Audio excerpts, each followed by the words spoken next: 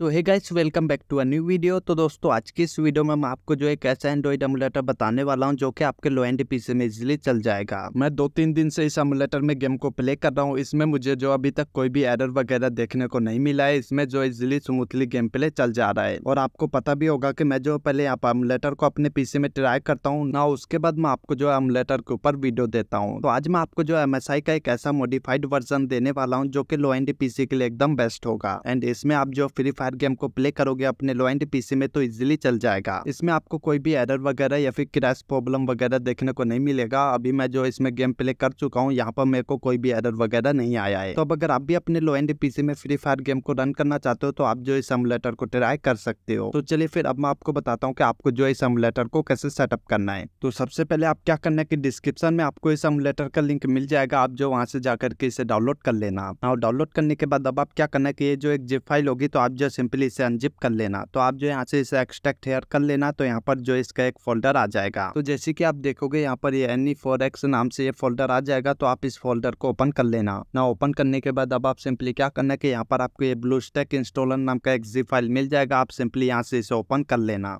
तो जैसे ही आप इसे ओपन करोगे तो यहाँ पर कुछ इस प्रकार से इसका इंटरफेस ओपन होकर आ जाएगा। तो अब आप सिंपली क्या करना है कि यहाँ पर आपको एक कस्टम इंस्टॉलेशन का ऑप्शन मिलेगा, आप इस पर क्लिक करना और यहाँ पर आपको ये फ़ाइल लोकेशन मिल जाएगा कि ये किस ड्राइव में इंस्टॉल होगा, आप यहाँ पर देख सकते हो। अगर आप इसे और किसी फ़ाइल लोकेशन में इंस्टॉल करना चाहते हो तो आप जो यहाँ से फ़ाइल लोकेशन चेंज कर सकते हो। तो मैं जो इसे सी ड्राइव में एक न्यू फोल्डर में इंस्टॉल कर लेता हूँ, आप जो इसे इंस्टॉल कर लेना। ना फ़ाइल लोकेशन सेलेक्ट कर लेने के बाद अब आप सिंपली यहाँ पर इंस्टॉल पर क्लिक कर देना तो यहाँ पर जो है आपका एमुलेटर इंस्टॉल हो जाएगा। सो जैसे कि आप देख सकते हो कि यहाँ पर जो है एमुलेटर इंस्टॉल होने लग गया है अब आप यहाँ पर वेट कर लेना यहाँ पर जो कुछ ही सेकंड में एमुलेटर इंस्टॉल हो जाएगा एंड जैसे ही यहाँ पर ये एमुलेटर इंस्टॉल हो जाएगा तो अब आप सिंपली क्या करना है कि यहाँ पर आप लॉन्च पर क्लिक कर देना एंड उसके बाद आप क्या करना है कि यहाँ पर आपको डेस्कटॉप पर इसका एक शॉर्टकट आ जाएगा तो अब आप सिंपली क्या करना है कि यहाँ से जो है एमुलेटर को लॉन्च कर लेना तो यहाँ पर जो ये एमुलेटर लॉन्च हो जाएगा अब आप यहाँ पर देख सकते हो यहाँ पर जो ये एमुलेटर ओपन हो चुका है तो अभी मैं आपको बता दू ये जो MSI का मॉडिफाइड वर्जन है फोर वाला आप यहाँ पर देख सकते हो, जो की लो एंड पीसी के लिए डिज़ाइन किया गया है, इसमें आप जो इजिली फ्री फायर गेम को प्ले कर पाओगे। तो अभी आप देख सकते हो, यहाँ पर जो एमुलेटर लॉन्च हो चुका है। अब आप सिंपली क्या करना है कि आप जो यहाँ पर सबसे पहले इसकी सेटिंग कर लेना। तो आप यहाँ पर सेटिंग वाले ऑप्शन पर क्लिक करना तो यहाँ पर सेटिंग ओपन हो जाएगा।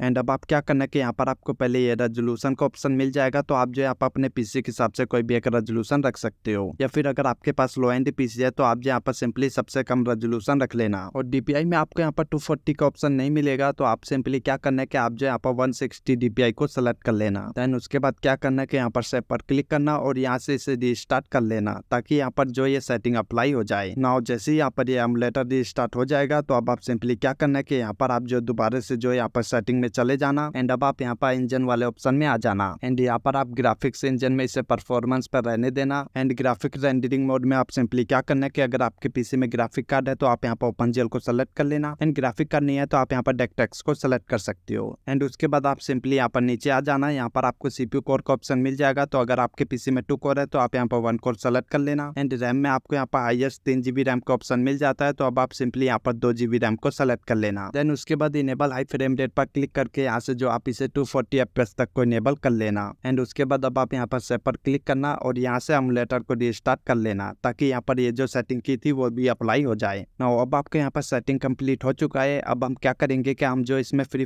गेम को इंस्टॉल करके प्ले करेंगे। तो इसके लिए आप क्या करना कि आपको जो डिस्क्रिप्शन में फ्री फायर गेम की OB forty six global version APK file मिल जाएगा, आप जो सिंपली वहाँ से जाकर के डाउनलोड कर लेना। और डाउनलोड कर लेने के बाद अब आप सिंपली यहाँ पर ये एपीके का ऑप्शन मिल जाएगा, आप इस पर क्लिक करना और जहाँ पर भी हमने ये फ्री फायर गेम को डाउनलोड की थी, हम जो सिंपली यहाँ से इसे इंस्टॉल कर लेंगे। तो अभी आप यहाँ पर देखोगे, यहाँ पर जो है फ्री फायर गेम इंस्टॉल होने लग जाएगा। तो अभी आप देख सकते हो कि यहाँ पर जो है फ्री फायर गेम इंस्टॉल हो चुका है। ना अब आपको सिंपली क्या करना है कि आप जो सिंपली यहाँ पर गेम को ओपन करके गेम को प्ले कर सकते हो। तो चलिए फिर अब हम जो यहाँ पर गेम को ओपन कर लेते हैं। ना उसके बाद आपको इसमें की मैपिंग वगैरह कैसे करनी है, वो भी मैं आपको इसमें बता दूँगा। तो चलिए फिर जब तक यहाँ पर ये गेम ओपन हो रहा है, तब तक अगर आप वीडियो में नए आए हो तो वीडियो को लाइक कर देना एंड चैनल को सब्सक्राइब कर देना।